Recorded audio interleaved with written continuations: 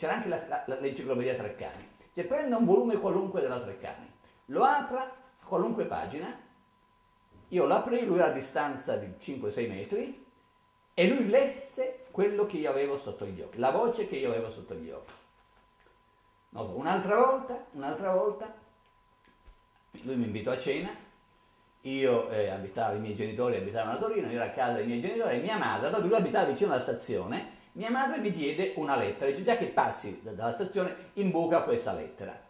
E io misi in tasca questa lettera. Andai da lui, c'erano sempre poche persone, 4 o 5 persone, misi questa lettera in tasca e sporgeva la, la, la, la parte terminale di questa lettera. E lui mi disse, eh, tu hai una lettera, in, del tu, eh, tu hai una lettera in tasca di tua madre, indirizzata, adesso non mi ricordo a chi.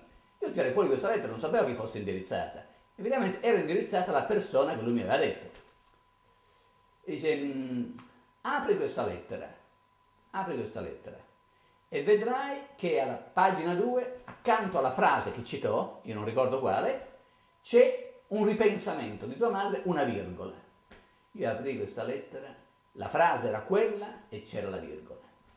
Un'altra volta mi disse, io gli telefonai quando andavo a Torino, lo facevo sempre, e gli disse vieni stasera, ieri stasera ti aspetto a cena e portami un mazzo di carte, un mazzo di carte nuovo, in tonso.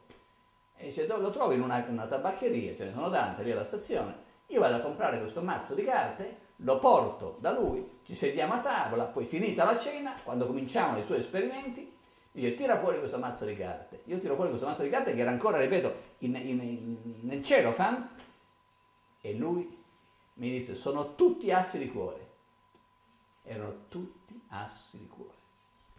Ora io non, non so che dire, ecco, io parlo della mia esperienza personale. Un'altra volta, un'altra volta andai a cena da un, um, la cena fu organizzata da Romiti, che era allora amministratore delegato della Fiat, ed eravamo in collina, ricordo, a una cena c'era, eh, eh, c'erano gli anfitrioni, marito e moglie, mia moglie Vittoria ed io, e Roll. Forse c'era anche un'altra persona, eravamo in 5 o 6, non mi ricordo.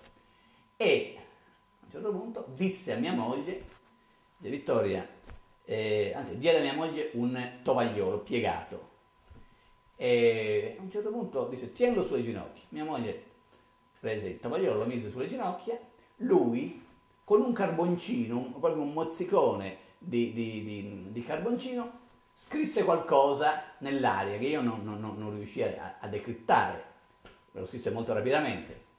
Poi rivolgendosi a mia moglie, le dice apri il tovagliolo, allora, spalanca, distendi, dispiega il tovagliolo. E sul tovagliolo c'era scritta la data di nascita di mia moglie.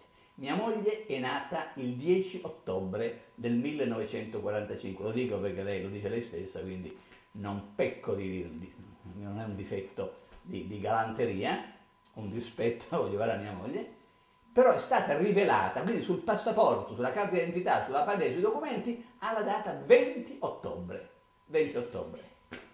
E quindi lui non poteva, come poteva sapere che mia, mia moglie era nata il 10 ottobre del 45? Quando su tutti i documenti, non lo so, io non, non, non sono in grado di, di, di, giudicare, secondo me lui era dotato di straordinari poteri paranormali.